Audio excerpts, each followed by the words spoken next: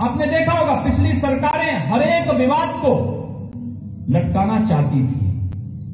जो लोग कहते थे कि राम तो काल्पनिक हुए हैं, कल मैं सुन रहा था उनके बयानों को, अब वो कहने लगे राम तो सबके हैं। ये है परिवर्तन। जो राम भक्तों पे गोली चलाते थे, और कहते थे, राम का तो अस्तित्व ही नहीं, आज उनको भी राम भक्तों की ताकत का एहसास है अब ये भी कह रहे हैं कि राम तो सबके हैं। तो यही तो हम पहले कहते थे। कार सेवा के समय हम यही तो कहते थे कि राम तो सबके हैं। राम जन्मभूमि के लिए विरोध मत करो। कार सेवा का विरोध मत करो। यही तो हम कहते थे। अंततः राम, भक्तों ने जो कार सेवा की थी वो विजय हुई ना।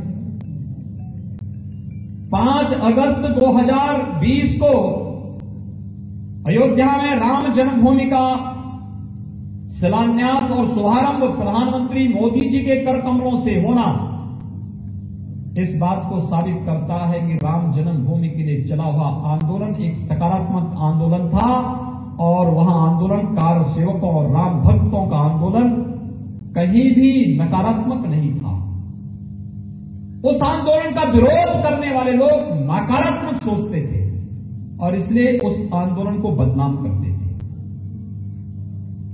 जब हर एक क्षेत्र में फेल हो चुके हैं, अब फिर वही राग राग अलापने का कार्य कर रहे हैं।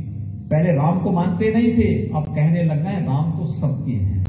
भगवान करे, सदबुद्धि हमेशा उन लोगों को बनी रहे।